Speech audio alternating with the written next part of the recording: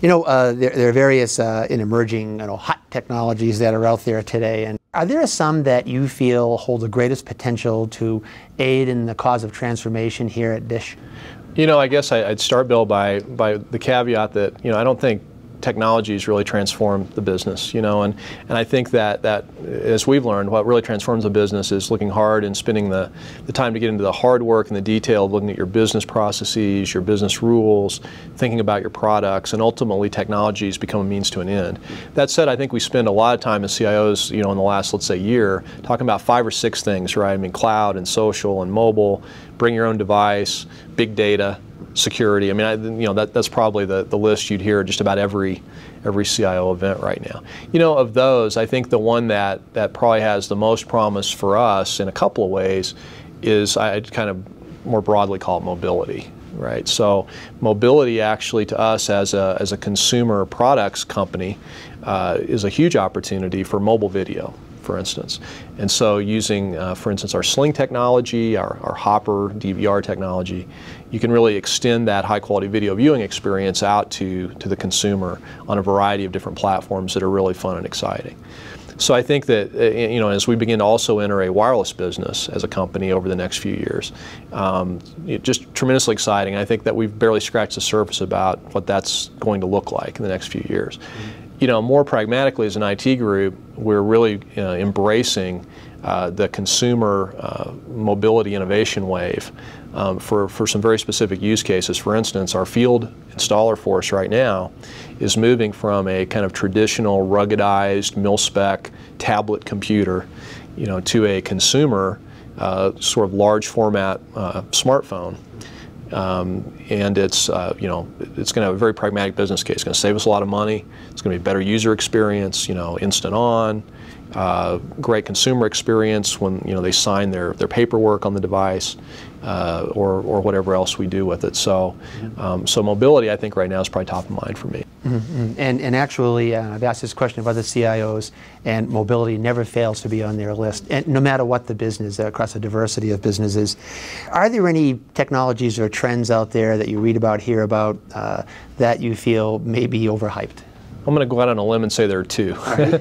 so to me, like the broad term social, um, you know, I, I think that you know, my view of social is that, and, and, and by the way, I, you know, some of my peers aren't, I, I am. So I have Facebook and Twitter and I have a blog and, you know, all, all those things. But, um, but social to me is just an extension of electronic communication means we've had for, for many years, whether it was, you know, chat, email, uh, texting, you know, and, and I think that all of those for us are viewed as channels of, of consumer communication and customer service. So um, there are certainly now more channels, but again, I think it's it's just a progression of sort of the same things we've seen before. So, uh, you know, is it going to revolutionize the world? No. You know, will it change the way we provide customer service? Absolutely. Mm -hmm. You know, the other one I'd say is probably overhyped is just the, the, the very nebulous phrase. I guess it should be nebulous. Cloud. Yeah. Clouds are nebulous, but uh, um, you know, cloud to me is just a new name for a thing we've done for a long time. You know, it's it was the uh, service bureau back in the day. You know, the outsourced provider. Then it was the ASP, and you know, then it was the co-location hosting provider. Um, and, and today it's cloud, albeit the technologies have changed, the model has not. And so I think that technology in particular is starting to catch up with some of the realities that, that as, you know, as, as outsourcers, when I was at Perot Systems, we learned many years ago. Um, so that one's a little bit out of the bang to hype ratio right now. It's interesting. Uh, so, so social media is, is more or less just the next iteration or evolution of collaboration and communication. Yes. Only there's more of it. In my view. In mm -hmm. Excellent. Okay. And last question. A, a, great point that you raised earlier that the technology is just the means to the end. Uh, a big part of the equation, obviously, is is people, and and you've talked about that previously. So if you look out now at, at some of the, the new solutions, technologies that are emerging, um, it, it, we always need new skills. We need a COBOL program, as you know, 20 years ago, and uh, you know, PC-related, you know, developers, uh, you know, 10, 15, 20 years ago. Uh, what about looking out a few years? What skills do you think are going to be needed that maybe we don't need so much today, and which may be perhaps in short supply? Yeah, I mean, I think that you know talent availability is, has always been a problem. There's certainly been some peaks and valleys through different economic cycles, but but generally the problem has done nothing but increase. You know, there aren't enough really good people for all of us to, to hire. Um, and so, uh, you know, specifically today, for instance, I think that we see challenges in analytics or, you know, big data kinds of areas. Very hot skill. Doesn't seem like there's a lot of people out there that have that, that knowledge set. Probably no different than what we would have said about ERP 10 years ago.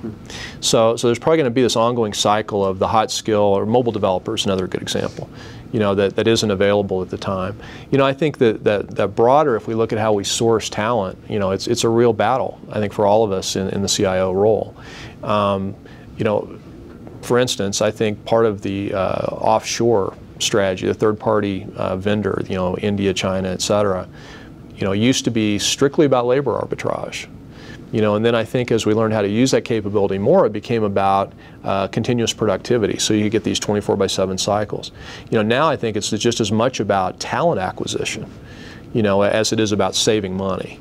And, uh, and so I think all of us are going to have to get much uh, smarter about looking at those alternate sourcing models for talent.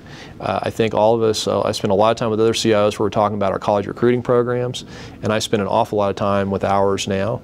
Um, we even talk about reaching deeper, you know, into the high schools you know, in, in, in, areas that, that we might be operating in. So um, I don't think there's, there's one solution to this, but it's something I think we have to prepare for the future. Uh, because it's going to be an increasing scarcity uh, in my view, over the next three to five years. Mm. Well, good for the labor market, I suppose. Uh, right. Half of the CIOs trying to scratch around and find the right talent. Absolutely. Well, Mike McClaskey, CIO of DISH, thank you very much for joining me today. Thank you. And I'm Bill LeBaris from IDG, and thank you for joining us today as well.